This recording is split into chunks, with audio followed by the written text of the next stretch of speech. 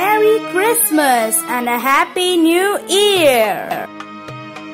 Birth of Jesus A young woman named Mary was engaged to be married to Joseph. One day, Mary got a special visit from an angel, Gabriel. He appeared to her when she was by herself and said, You are truly blessed. The Lord is with you. She was surprised, confused, and afraid, but the angel assured her, Don't be afraid, Mary. God is pleased with you. He is going to use you in a mighty way. Mary had no idea what the angel meant.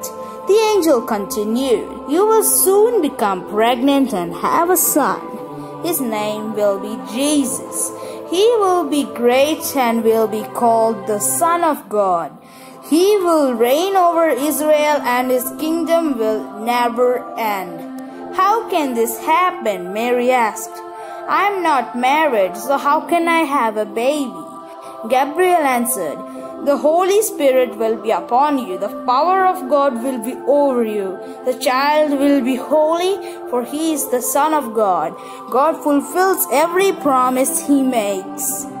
Mary replied to the angel, The Lord is my master, and I am his servant. I will do whatever he wants me to do. Let everything that you said come true.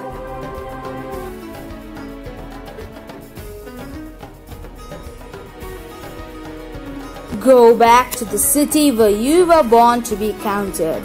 Caesar Augustus, the ruler of the Roman Empire, said to everyone. Joseph was born in Bethlehem, so he had to go there with Mary, who was pregnant.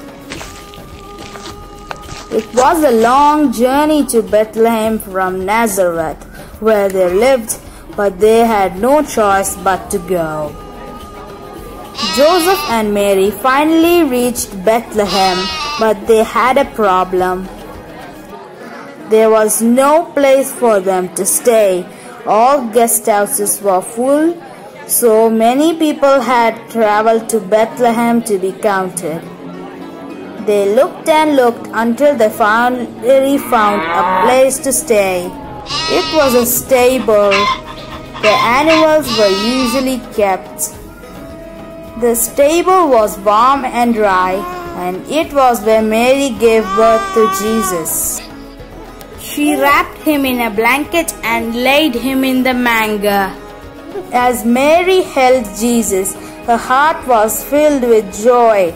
God's Son, the Savior of the world, was born. We wish you a Merry Christmas